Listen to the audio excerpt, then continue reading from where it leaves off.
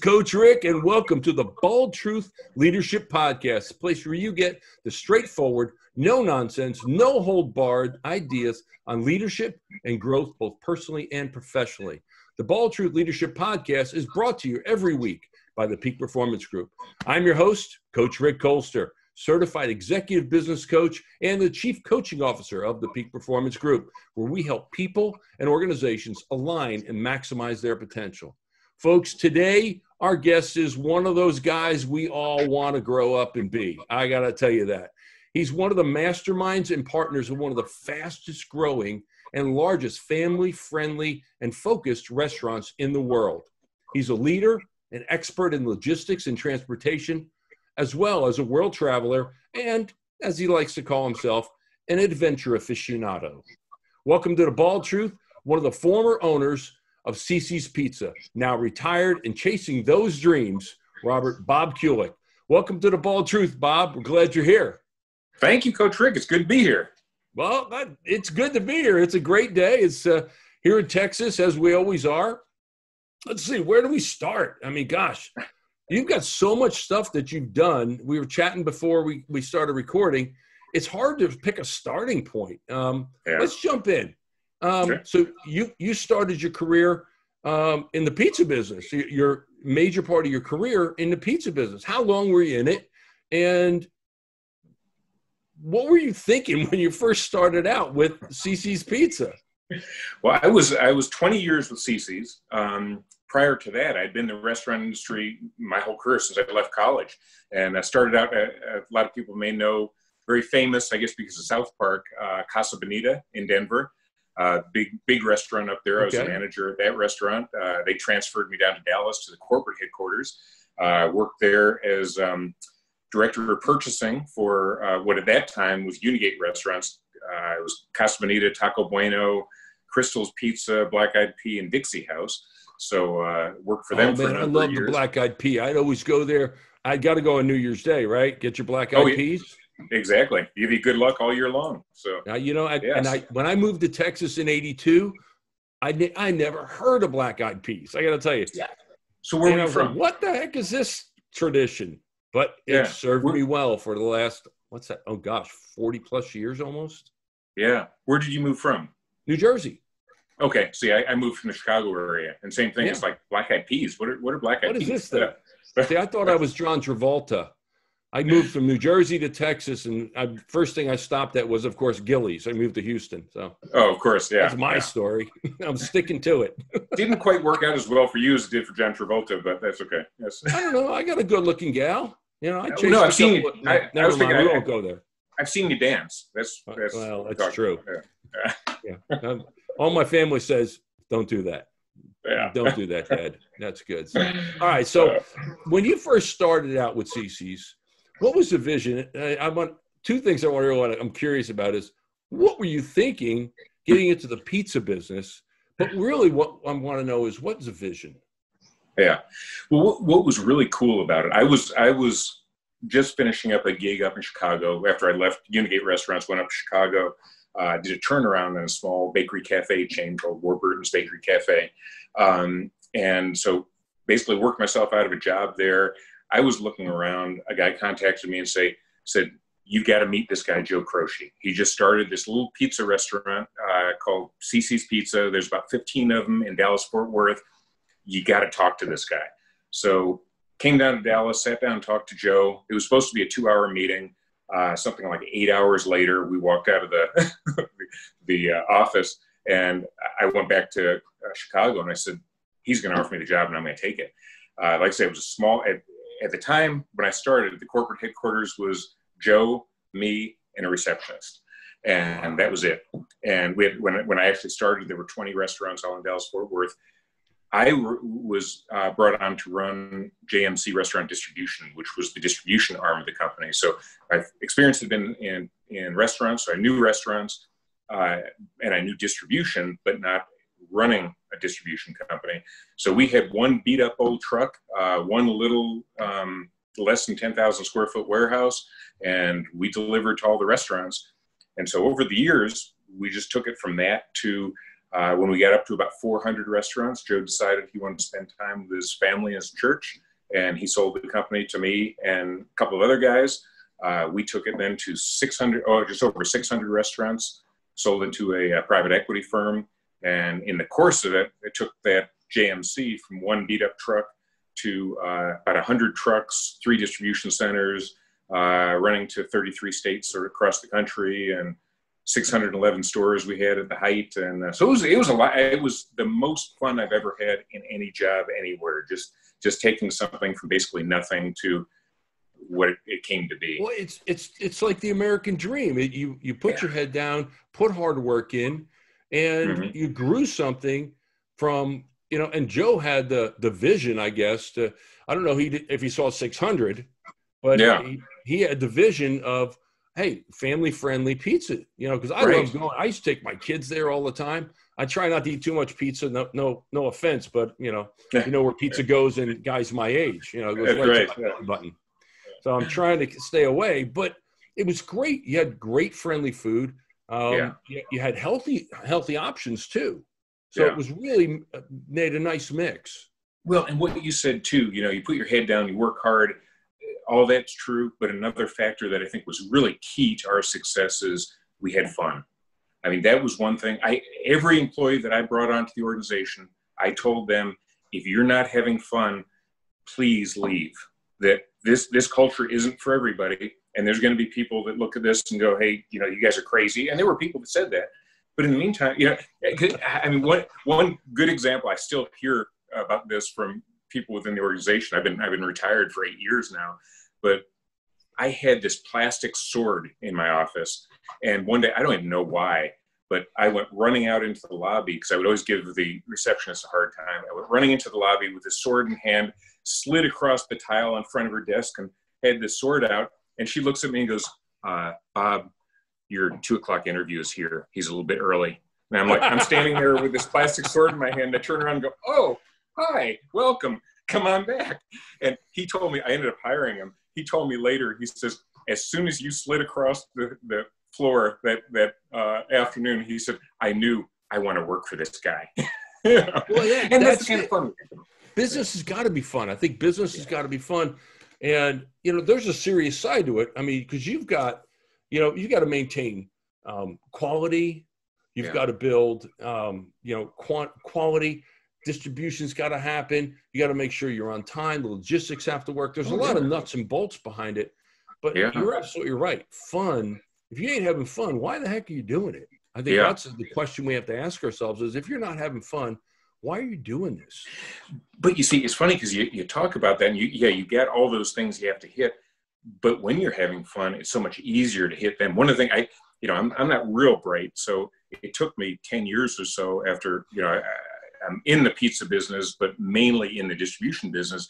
And it finally dawns on me one morning when I have three distribution centers across the country and all these trucks run my main business is distribution. It's not pizza. Uh, and I, you know, I, I, was always a member of the National Restaurant Association, go to their meetings and all that. Sure. So I joined the American Trucking Association and started going okay. to their conventions and learning about them. First convention I went to, I was talking to one of the, the big wigs in the organization, and he goes, uh, "Yeah, I understand you're new to the organization. What do you find is your biggest problem within your distribution?" And I said, "Well, one of my biggest problems is the drivers are getting older. You know, they stay on and they can't do the physical work. So we're trying to find spots for them to within the organization because we don't want to lose them because they're great. And the guy stops me and goes, wait, your biggest problem is you don't have driver turnover? I said, oh yeah, our driver, I said, we have drivers that have been with us, you know, 15 years and all this stuff. And he, he goes and grabs the president of the organization, brings him over and says, you got to get this guy on stage found out their biggest problem was driver turnover. Oh, yeah. Drivers are turning over in nine months, and for ours, they're staying 10, 15 years. And we're going, man, you know, he's 60 years old and he can't lift, uh, you know, 40,000 pounds worth of material every night anymore. Uh, what are we going to do with this guy? And, and a lot of it had to do with having fun and, and treating everybody as, you know, you see so many organizations out there that say, you know, people are our number one asset and then ignore them yeah. And my deal was, you know, yeah, people are a number one asset. Enjoy them, you know. Yeah, that, you know what? And, yeah.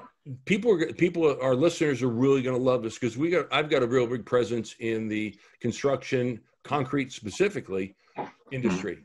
so biggest turnover where do we find drivers where are they turning over why are they going to the competition for a dollar more mm-hmm. you know a dollar more yeah. an hour you and i both know a dollar more an hour is doesn't doesn't mean a lot right. but to, to a guy who's working paycheck to paycheck yeah. that may mean that may mean you know that's 40 bucks and 40 bucks a week where he can yeah. buy dog food for his dog where he couldn't before or you know do something for his kids on he can buy mm-hmm. go to Cici's for 40 bucks yeah you can't go to Cici's for 40 bucks yeah can i give you a little secret that i i used yeah i i, I give us a little because, secret yeah because i i thought it was the right thing to do and then i learned later really what it did for my my team is on there any of the district any any of the three distribution centers that hired a new person on I would ask them to get some basic information, you know, the person's name, spouse, kids, hobbies, sure. you know, things like that, and say, when you're about to hire, when you hire them,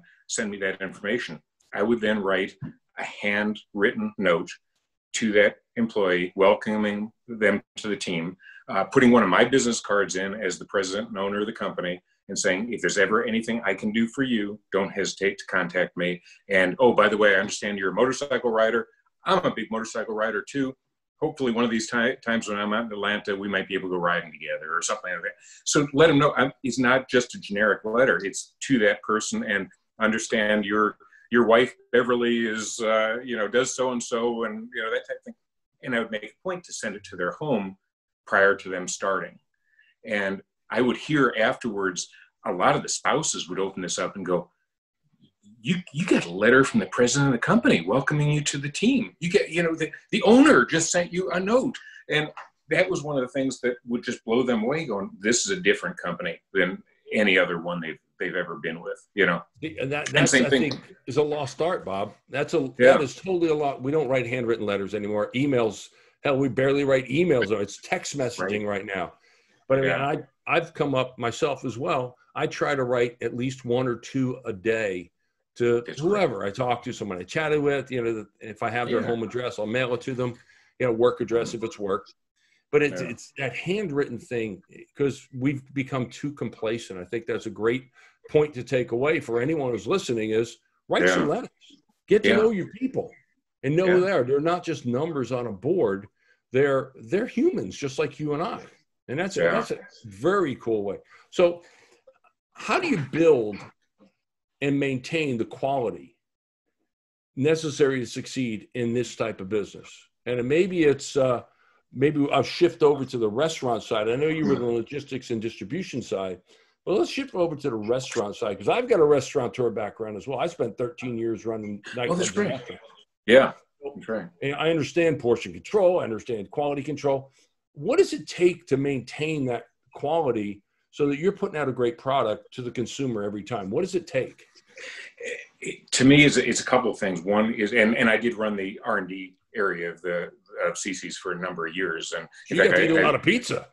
I yeah, there would be days I would come home and you know my wife would have dinner on the table and be, oh my gosh, I had five pizzas this afternoon. Uh, you know, but um, yeah, so it's you know um, from that standpoint that with the R and D section.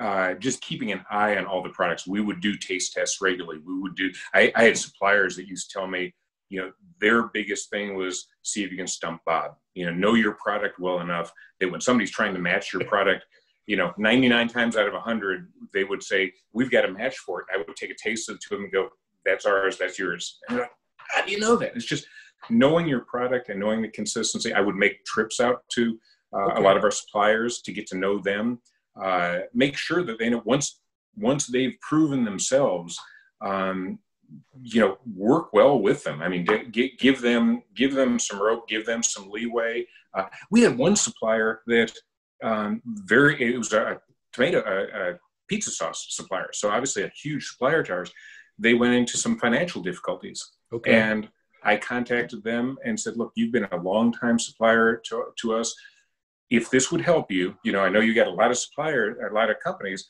but if this would help you, when we get a shipment in, rather than our typical, I forgot what the terms were, net 15, net 30, whatever it was, terms, if it would help you, when we receive the product, I will cut you a check immediately. And, you know, our terms will be net one, basically, if this wow. will help you get through this, this tight spot. They said, no, you know, that's okay. You don't need to do that.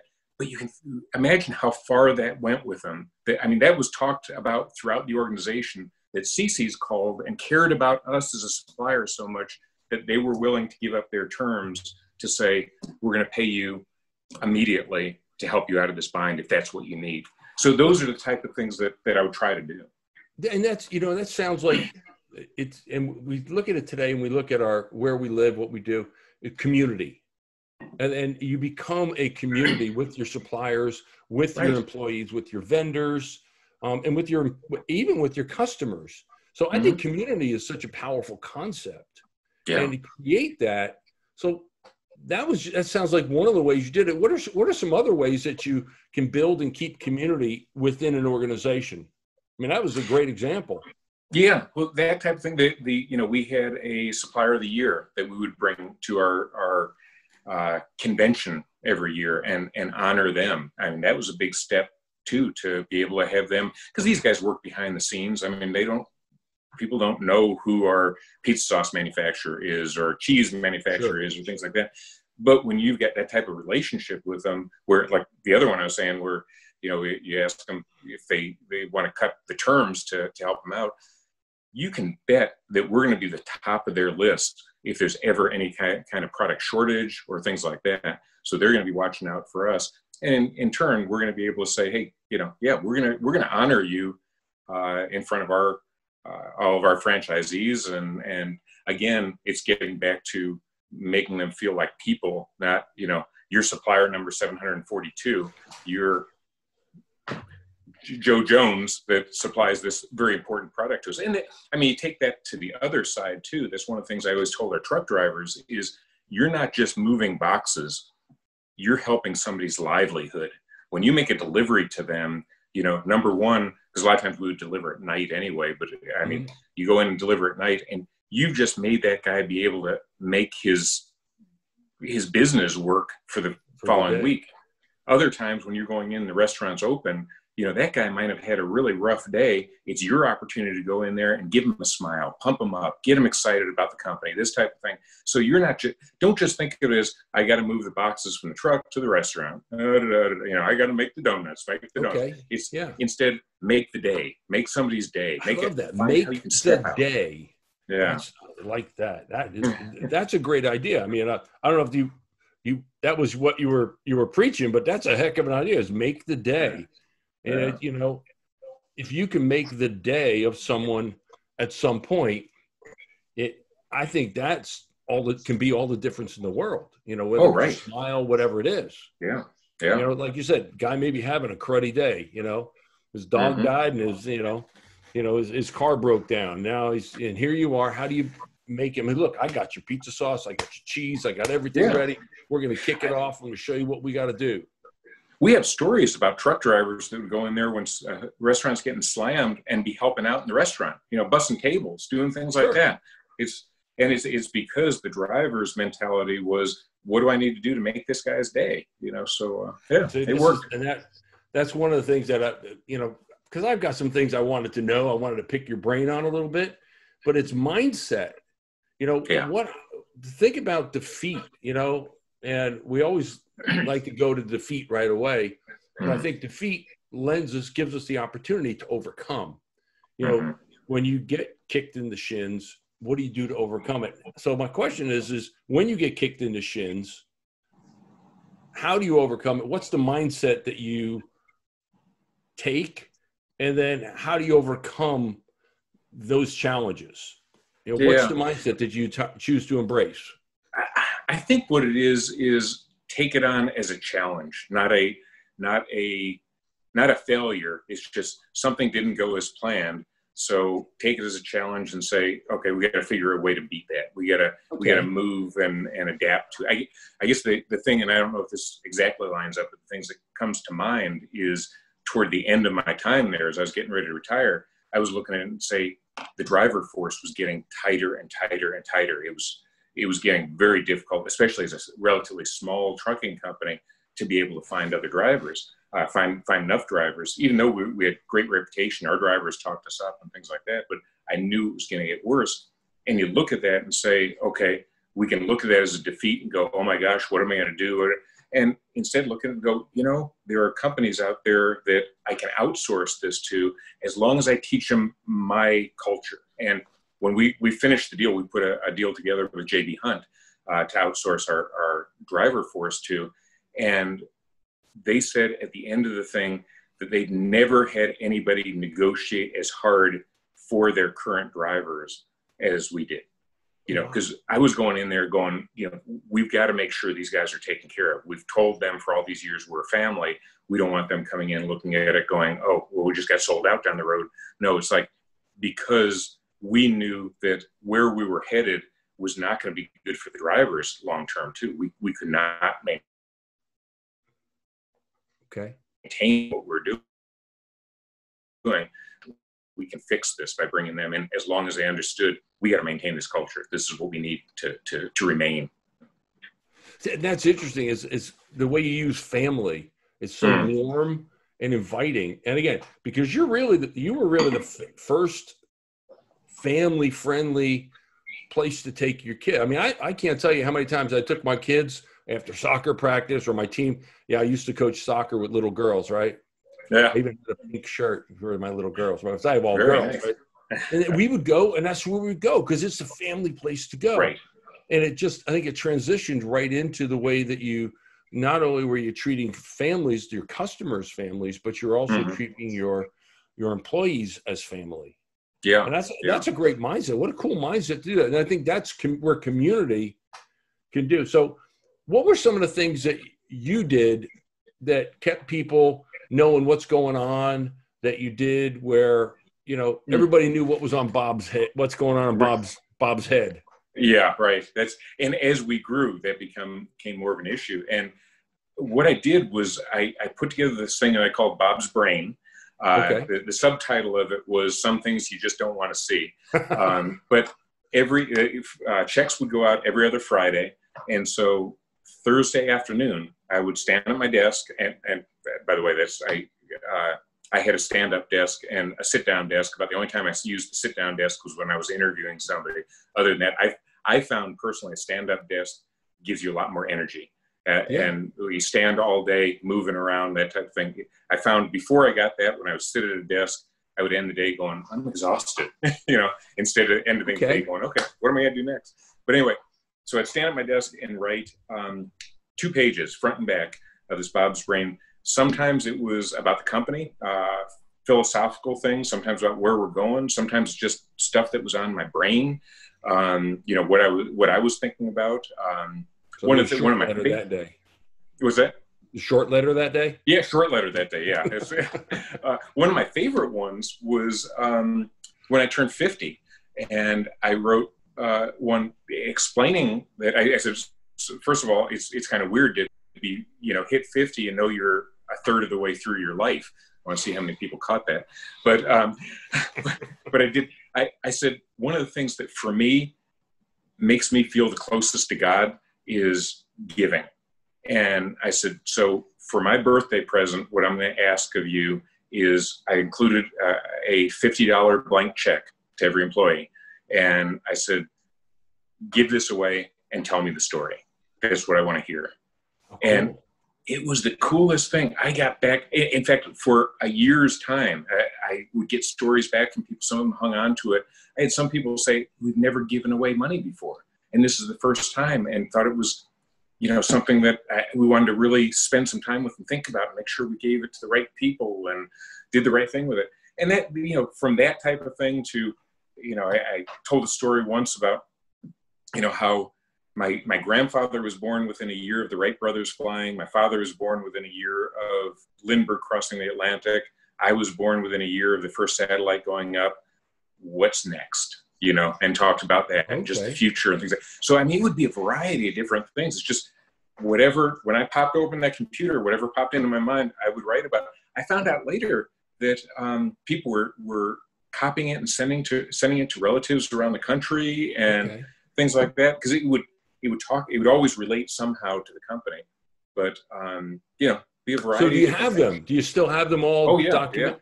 Write Yeah, a book. What about a, what a cool way to put a book together? That's And right. yeah. I would call it Bob's Brain. That'd be so awesome. Things you don't want to see. yeah, my um, it's funny you mention that because one of my retirement goals, I've gotten so tied up with other things, I haven't done it. But one of my retirement goals was I was planning on ri- riding my motorcycle around the entire perimeter of the United States, writing a book about that, and starting with I, I know you know a little bit about this. I started uh, back in high school, right after high school. I was part of a team that reenacted LaSalle's trip from Montreal to the Gulf of Mexico. So Mhm. we lived like someone in the 1680s uh, during that and start the motorcycle trip talking about that, work through my career, all that happened Okay. in that, and end up with what I hope to do next year is go to space with Virgin Galactic. I've signed up for that. So I've got, got kind of an interesting from from living in the 1680s to living in the 21st century, going to space. Um, there's a lot of lot of things in between there, and that's what I, I hope to write a book on one day. So it sounds like right now you're living the dream. You're living Yeah, that right. dream. You're retired. You're following your passion. So uh, you, you just said space flight, right? So Mm-hmm. the Virgin, you're going to go into space in with Virgin Atlantic, right? Is that what it is? Virgin Gal- Galactic. Galactic, Galactic. Yeah. Okay. Mhm. Holy smokes! Well, how how much fun? Somebody's is that got to do it. Somebody's That was got to do it. Yeah. Yeah. So adventures and the LaSalle adventure. What an, I didn't realize you did it so young. yeah. Yeah. How Yeah, what a cool adventure to Oh, yeah. do at a, I said you said college age. Well, we spent our whole junior and senior year of high school making the canoes, making the uh, clothing, hand stitching the clothing, the paddles, the muskets. I mean, everything down to the final detail. So we we looked like and lived like a voyageur in the 1680s, and um, so that was our junior and senior year. Graduated uh, in the was it June of '76, and then in August of '76 left Montreal and finished up at the Gulf of Mexico in April of 77. So nine months paddling a canoe and walking through uh, frozen Midwest and all that kind of stuff. And What so, did, yeah, what did people what did people think when you're coming down the river? As you're floating down the river. In the beginning, it was the most interesting part because we didn't have a lot of press at that point, and there'd be a lot of shocked looks and people going, "What the heck are you doing?" As we went further along, I mean, we were we were regu- regulars on the uh, nightly news. We were on newspaper. We were in People People magazine, uh, Outdoor magazine. Uh, you know, I mean, we, especially through the Midwest area, we were pretty well known at that point. You could, and we, we would we would put on stage shows every night as we got into town. We'd set up our camp, and then we'd go into schools and civic auditoriums. And we had French Voyageur songs we would sing and tell the story of because '76 was the the bicentennial, and Yeah, so sure. much at that point was geared toward east to west. Uh, um, covered wagons, you know, Mhm. things like that. We wanted to show the north to south French influence on the the uh, United States. So yeah, so that was Well, that was the cool is beginning of my adventure career. Well, that's what I mean. It sounds like you've been living a life of adventure for Yeah. since you were a young guy. yeah, and how yeah. cool now, like you said, you took it from paddles, you know, Mm. you know, sealskin suits and to now spacesuit getting ready to go in. Now you said that's going to happen when? In ne- within the next year or so? I would have guessed it would have been I would be going up late this year, early next year before COVID hit. Now it's been delayed a little bit, but Okay. I mean they've they're they're taking test launches. They just just yesterday, as a matter of fact, they revealed the interior of the spaceship to us. They, they had a, a special uh, YouTube deal for us, and we were able to see So it's exactly. going to be like plush, or is it going to be pretty um, uh, just functional? It's it's functional, but it looks. I mean, keeping with everything that Richard Branson and Oh, the. Virgin brand does, it's unbelievable. If you get because they they've released it now, and it's out there on YouTube and Twitter and all this stuff. It is gorgeous. I mean, it's it's going to be quite an experience. Well, that sounds like fun. So, well, I'm going to be conscious of your time, be respectful of your time. So, Hmm. I've got a couple things real quick. Uh, but before before we transition, real quick, anything you want to promote from you? You got a new business, a venture, a shout out to anybody? Um, you Really, want to share some stuff you're doing ministry wise, whatever it is? Yeah. Well, the, the big thing that's that's why I've, I've slowed down writing the book that I wanted to read and re, uh, write in retirement. Uh, I'm involved very heavily with three ministries. Um, one is uh, Lifeline Global Ministries, which is a prison ministry. I'm the chairman of the board of that. We're again, before COVID, we were in 33 states, nine countries around the world, and have uh, programs for men, men and women. Uh, Malachi Dads for men, Hannah's Gift for women, takes them through step by step what it means to be a Christian, uh, how to be a person of integrity, and does family reconciliation. Because if a child has a parent in prison, they're 70% more likely to end up in prison themselves. So it tries okay. to break that uh, generational incarceration cycle. Yeah. After they graduate, one of the things that we do is another ministry that I'm involved in on, on the board of um, Gene Getz's ministry, uh, BiblePrinciples.org is his. He's got a um, uh, study Bible that he's written a few years ago, and we present a leather-bound st- study Bible to the men and women who graduate from this uh, prison ministry. Nice. And he's got a great ministry too. He he actually for every Bible that he sells, he gives one away. So he's giving them away to uh, inmates that graduate these programs. He's giving away to pastors that can't afford them. Uh, there's actually a in uh, uh Africa. There's a school that teaches uh, pastors that don't have access to seminaries how to be a preacher oh, by using this Bible. And there's actually um, 1,500 life lessons built in there, videos of Gene teaching various lessons. It's an amazing can, can deal. Someone, can anyone just go online and buy it, or? Yeah, if if you buy it at a Barnes and Noble or Amazon, you pay basically the full price, which is you know roughly seventy dollars for one of these leather leather bound Bibles. If you go to BiblePrinciples.org, Gene Getz's, uh, he gets it at half price. He's still selling it at about the same price as Amazon, but he's giving one away. Rather than taking the profits, he'll give it away. So, so yeah, I would highly recommend people go to BiblePrinciples.org, take a look at that. The okay. third ministry as, as we look below, as you look below, there people will see. We'll have you'll oh, see BiblePrinciples.org will be below you right there. So take a yeah, look, folks. And, and the LifelineGlobal.org. Uh, get a Bible, and you know, support someone getting another Bible. We need more of yeah. Yeah, and then I'm involved with Chad Hennings, who I understand has been on your program, yeah, the, the Wingman Ministry. Show a couple months ago, yeah. Yeah, so I was on his advisory board for a number of years, and he's just asked me to join his board, full board as well. So uh, I have the first board meeting with him in a couple of weeks here. So uh, yeah, just well, keep me off the streets, not a trouble. Yeah, I will. Absolutely. So it's good stuff. So okay, now Coach Rick always likes to push the envelope. I always like to push the envelope uh-oh. And I've come up with a couple of questions that we've heard, you know, your career, how you've helped build a company, your adventure, your taste for adventure. So we kind of heard all the stuff that would go in your bio. I want to know who you are. So uh-huh. here's the question: three questions that are going to dig in, peel back the the proverbial onion, and, and get to the heart of things. Okay. So here's here's three questions I'm going to throw at you. So here you go. You're holding a dinner party for six. You are one of them. What five people do you invite and why? Dinner party for six. You're one. What five people do you invite and why? Dead or alive? Dead or alive in all of history.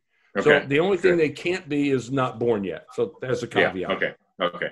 Um, obviously, Jesus Christ would be the first one, um, and obvious reasons. There's uh, so, so, much to learn there. Um, the, the second one that comes to mind is Ben Franklin. I've always been amazed by Ben Franklin, and he, he's he's the ultimate Renaissance man. The, the okay. Different things that he's. It's funny because living near DFW Airport, I see planes flying over all the time, and often think how cool it would be to have Ben Franklin sitting right here and him seeing that and go, "What is that?" and explain that to him. But uh, so yeah, Jesus Christ, Ben Franklin. Uh, probably for the same reason, Leonardo da Vinci would come up. Um, uh, Jacques Cousteau um, would probably be one just a, an adventurer and um, you know someone who uh, pushed the envelope in in mm-hmm. his area. Um, I think the last one probably would be because I spent time uh, as LaSalle's crewmate for uh, nine months. Probably would be Rene Robert Cavelier sur LaSalle. wow, that would that's that'd be interesting. That'd be an interesting crew. Adventurers in their own rights. You're right. Yeah. Yeah. How cool. I remember Jacques Cousteau as a kid. How cool was that? So yeah. All right. Second question. An article is being written about you after you're gone. We all have an expiration date. Yours is like th- a long time because it's one third of your life. You only live one third of your life. Right. And um, so after the article's written about you after you're gone, what's the title? Not what's in it so much, but what's the title? What's the headline? I would say something along the lines of um, he lived life to the fullest while bringing others along. Okay, excellent. Yeah. And finally, so this is something that's a little more tactical. What do you do to set yourself up each morning? What do you do each morning to set yourself up for success? And if you have to go back to when you're you were non-retired, what do you yeah. do every morning? Set yourself up for success. Uh, what I do every morning after after I make my cup of coffee is sit back down with um, I have a, a, series of devotionals and Bible studies I spend time in, and um, usually do a, a often do a, a, read through the Bible in a year. And I'm in the process of that right now, and um, there's about five different devotionals uh, that I go through that that kind of clears my head and sets myself up for the the day ahead. Excellent, excellent, Bob. I thank you for being on. It's been amazing. I learned so much today, and oh, I think you gave some amazing tips to our listeners where practical factual tactical things that they can do to help them in their business from treating employees like family to writing letters to Bob's brain. So, yeah. Uh, if you've heard it, you found something good, make sure you click like and you subscribe. So, thanks for being with us. Um, is is there a way we can follow the adventures of Bob? Is there like Bob's website, Adventures of Bob, somewhere? Actually, I I got I I own bobkulick dot uh, space, and that's what dot I hope space? to dot dot space. Yeah, there's a dot space. I didn't and, know that um, was a thing yeah, so I, I've got that. And what I wanted to do actually, and I just haven't gotten around to doing it, is setting it up where, like when I climbed Kilimanjaro, uh, I did a deal where people could donate to. Uh, I, I, was at that time on the board of Happy Hill, uh, an academy for at-risk kids, and okay. raised twenty-eight thousand uh, dollars when I stood on the top of Kilimanjaro for this this charity. And I thought I want to do that too on the space flight and be able to tell stories of you know the the process of getting there and what it was like and everything in exchange for saying one of the three ministries I'm involved in make a donation to one of those and you can have access to it. Great so, idea. So that's my plan. I just if somebody's out there willing to help me put that together, that, that would be good. You never know. You never know. that's right. And I love your giving heart, man. I just, I, I absolutely love your giving heart and your kind heart. So thank you for being on. We appreciate you here. Thank you. You've been listening it. to You've been listening to The Bald Truth with Coach Rick of the Peak Performance Group, the company that helps people and organizations maximize their potential. If you're looking for a way to grow your company, or whether it's sales, whether it's strategy, with direction, the Peak Performance Group, one of our coaches can help you achieve that. You can always reach us through our website, which is mypotentialplus.com, or just give us a call, 817 748 7425, and we will connect you with the right coach. Remember to subscribe and like. We're available on iTunes, Spotify, iHeart, YouTube video. Hit like and subscribe to get every episode. Folks, I'm Coach Rick, and that's the bald truth.